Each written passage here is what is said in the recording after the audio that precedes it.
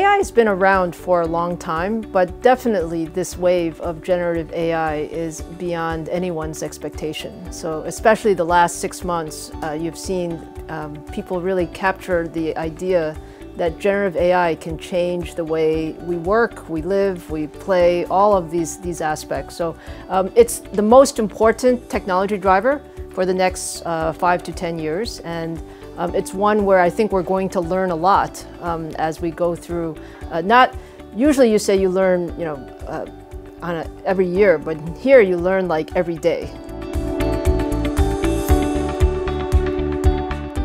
Think you'll see AI across um, every aspect of technology and every aspect of our life. So from a technology standpoint, uh, you'll see um, AI in uh, the largest data centers when you're training these very um, you know, large models with lots of data. Uh, you'll see it um, also in your uh, client device, in your PCs, and that will help us um, also use uh, AI. So I think that's from a technology standpoint.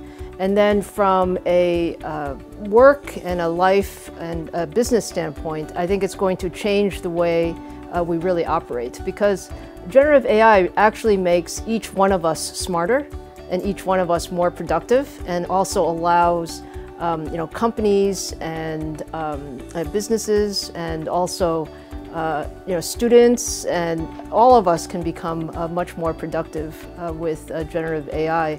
It kind of is like we each have our personal assistant uh, to help us really become more productive in the um, in all the things that we have to do.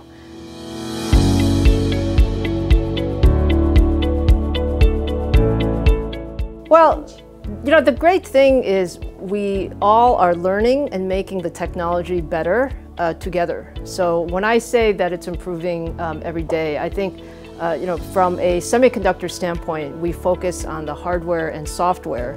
And we've seen just a tremendous improvement in uh, just um, how we can become more efficient um, in our chip design and in our uh, software capability.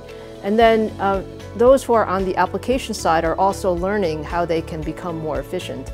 And I think the key is uh, to make it uh, as broadly adopted as possible. So as you go forward, I think generative AI will be in all applications and will allow the productivity to improve um, across many different applications. It is uh, so many people are uh, doing uh, research and development in this area. You can see it in the largest companies, you can see it in startups, uh, you can see in hardware companies, software companies, application companies, uh, you can see it uh, in students and in universities.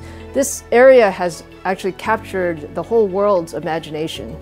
And I think we're all excited to uh, maybe change the rules. So usually developments in technology take many years. But in this case, with generative AI, where uh, uh, we can make incremental improvements and the models are getting better, and the technology is getting better and also the collaboration between the ecosystem is getting better. So I think that's the reason that you're seeing the pace of innovation improve so much.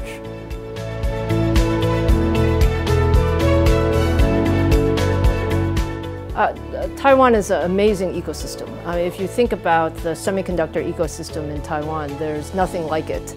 You have um, all of the players uh, together uh, from uh, you know, hardware uh, OEMs, um, you know, ODMs that work with uh, customers. You have the supply chain here. You have um, a lot of innovative startups as well as um, you know, software and applications companies.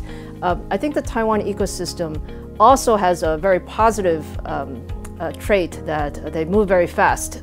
Everyone is aggressively trying to capture the new opportunity I do think Taiwan is very unique um, in this way. I think uh, as uh, semiconductors is uh, so many specializations are here and also in uh, you know, very uh, close collaboration with each other. I think we all recognize that uh, Taiwan is a very special ecosystem for uh, this type of rapid innovation and um, the, uh, the talent and also the, the mindset is to be uh, very agile in adapting to you know, new technology trends. I think AI is going to be so important for um, all of the technology industry, and I definitely think AI is going to be very important for Taiwan.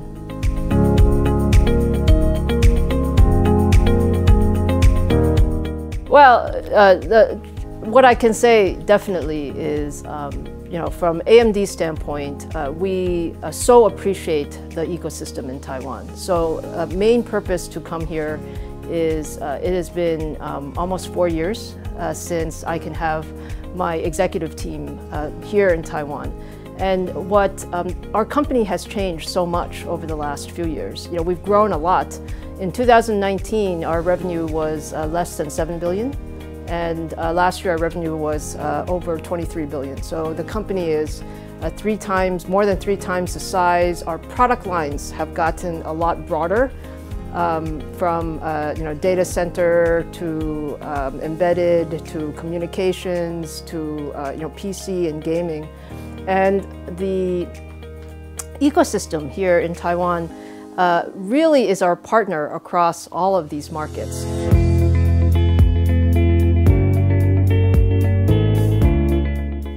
You know, we have uh, focused very much on um, you know three things uh, in our AI strategy. The first one is uh, we have a very broad portfolio.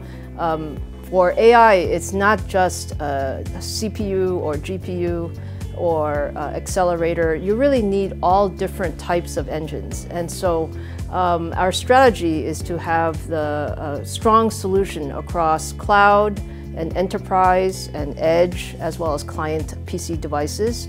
And uh, that's our um, uh, overall hardware strategy. Then the second point is software ecosystem. Um, our view is that uh, software ecosystem should be open, and so uh, uh, we have uh, investments in our software ecosystem uh, with our partners. And then the third point is uh, to collaborate um, across the ecosystem. So these are the elements of our AI strategy. Um, I believe that we're still in the very early innings of AI, so very early.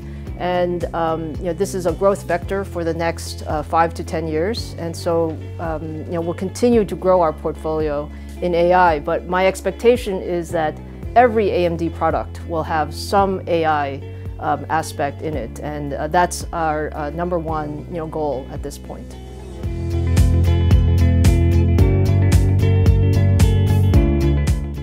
If you think about it, over the last, like I said, 30 years, People keep saying semiconductors will slow down.